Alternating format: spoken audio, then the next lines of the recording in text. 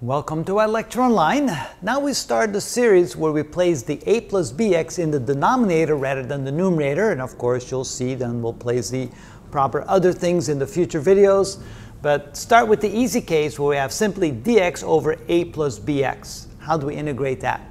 Well, if you don't see the solution immediately, you can always try to use the substitution method where we say let u equals what's in the denominator, a plus bx, and then du dx is equal to b, so du is equal to b dx, or dx is equal to du divided by b. And we then take this and this and substitute that back into our integral to see what we end up with.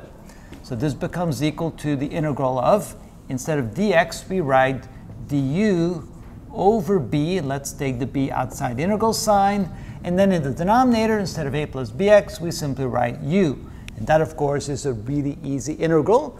The integral of that will be the natural log, so this becomes 1 over b times the natural log of u plus a constant of integration.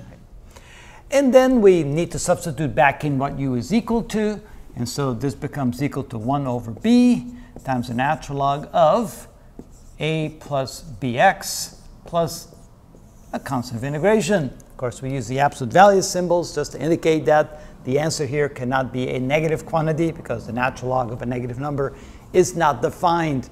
And that's how we end up integrating that. That's an easy case. They do get a little harder in the next several videos, but that's how it's done.